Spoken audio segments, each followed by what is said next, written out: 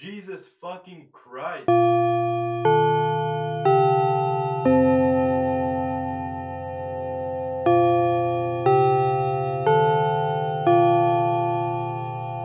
Hello children, now that you have mastered Japanese, let's choose which dialect you will use. Okay, so you gaijins probably didn't know we had dialects, right? Well, why, you say anxiously.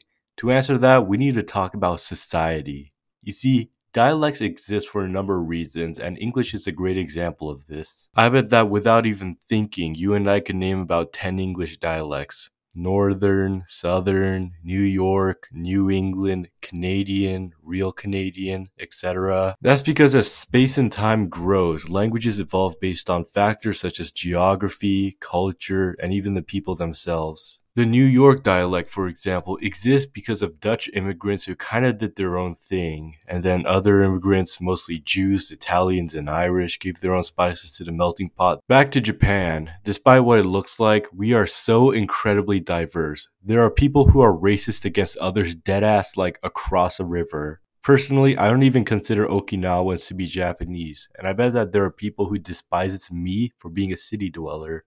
Anyways, back to dialects. Most cities or prefectures have their own unique dialect, some of which are incomprehensible to others, and that's what I'm going to explore today. Kyotsuben is the Japanese you would see on here, on Duolingo, in Japan. It's the vanilla dialect. What to say about it other than it's universal? Sometimes you will see this instead, Hyojunben. It just means standard dialect versus Kyotsuben, the universal dialect. Same shit, different day. Osaka Ben more or less resembles Kyotsu Ben, but there are a few aspects about it that would turn heads. In my mind, Osakans or raccoons that one day transformed into a Japanese. I bet it has something to do with the books I've read. Here are some examples of differences, right? Honto, honma, dame, akan, domo, or arigato, azansu, omoshiroi, omoroi, mondai nai. And those are the ones I hear the most from Osakans. There's millions of differences. Osakans also do this thing where if they're explaining something, they end their sentences with su or yang, and sometimes even both. And when they are really confident in what they're saying, they say ya or neng, and sometimes even both. Okay, now you try speaking Osakan. Omoroi su. Kamahen ya. Akang ya nen.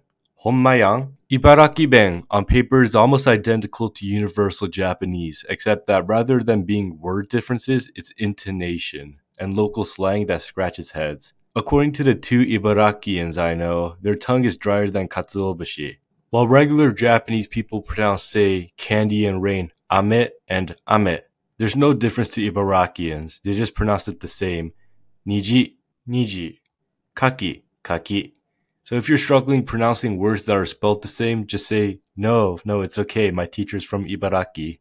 Another thing is that, similar to how older people don't understand Gen Z slang, regular people find it difficult to decipher Ibarakian slang. What do you think this means? Wrong, it actually means shoganai daro. How about this one, ijiyakeru? It means to be pissed. Last one, what do you think this means?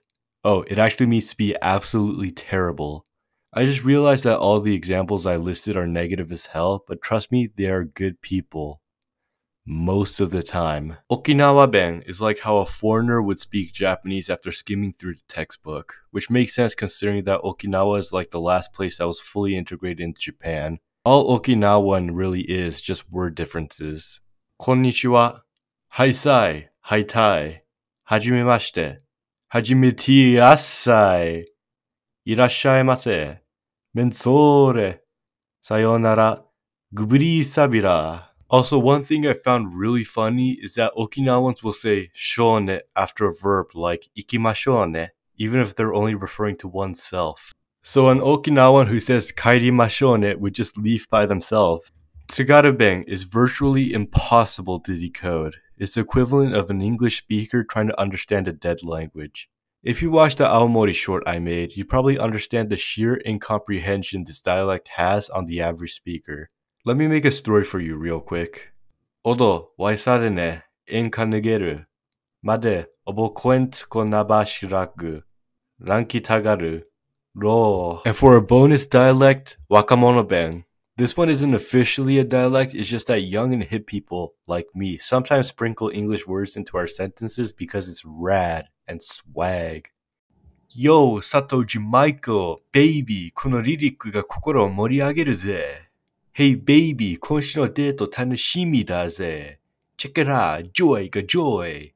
Anyways, that's more or less all the major Japanese dialects. I hope it goes without saying, but it's more complicated than that. Also, part two is inevitable. Please don't choose to speak a dialect because it sounds dope, because that's kind of cringe. As a wise Japanese man would say, just go with the flow. Like, subscribe, comment, and I'll see you guys again, perhaps tomorrow as a short, I don't know.